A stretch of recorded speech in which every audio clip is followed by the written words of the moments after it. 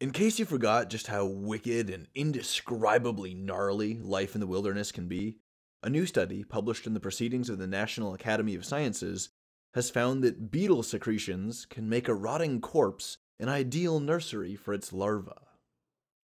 So, a lot of animal species, primarily arthropods like wasps and beetles, among others, are known to lay their eggs inside the body of another animal. Sometimes this is done as the animal is still alive, sometimes it's done after it's dead. But either way, the end result is a mass of insect larvae hatching inside of a larger mass of organic tissue, which is then consumed and turned into nutrients to fuel the larva's growth. When an animal dies, like a bird or a lizard or some kind of rodent, the processes of decay and rot will give off chemicals like cadaverine and putrescine. A lot of these post death chemicals are named after something that has to do with death, or something that describes how the chemicals smell. Putrescine smells putrid. To non scavengers, like us, this dead stuff smells terrible and it tells us to stay away.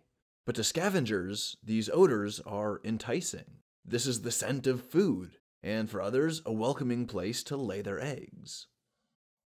The study examined beetles as they went about this process of finding something dead to lay its eggs in. The beetles would first approach the carcass, and then roll it up or drag it some distance away to a small hole that it dug in the ground.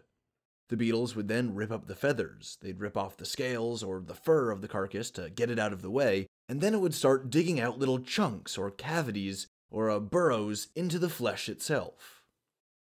As this goes on, the beetles are also covering the rotting carcass with various fluids that get secreted from both their mouth and their anus.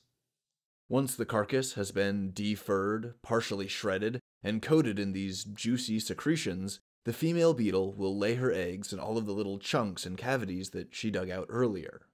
Within two days, the eggs will hatch, and the larva will begin to feed on the surrounding biomass. Now, many animals, and not just beetles, will eat dead stuff, and this can be a problem for the larva when their food nursery gets eaten by other scavengers, be they some species of fungus, uh, some other animal scavenger, or just the regular bacteria in the dead tissue itself, breaking it down. If all of these other forces are left unchecked, the larvae will see that their food is being eaten right out from under them, and that's bad for the beetles. It puts them off to kind of a rocky start. Now, this study identified the oral and anal secretions as a tool that the beetles use to protect and preserve the foodstuff, just for their larvae.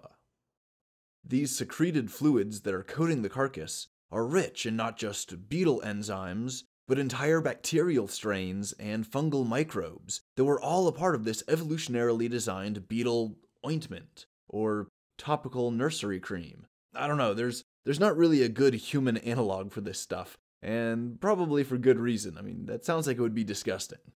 But anyway, this protective secretion inhibits the behavior of other bacteria and fungi that would otherwise break down the dead tissue for their own nutritional needs.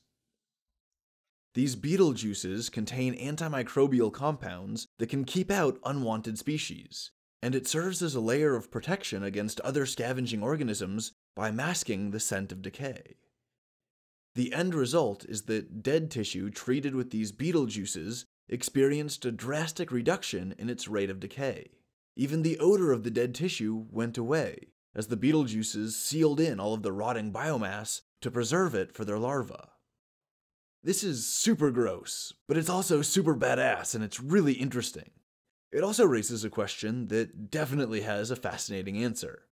How did this particular mixture of compounds evolve, where it seems to not only preserve the dead tissue and protect the larva, but also selectively regulates which bacteria and fungus can join in on the decomposition.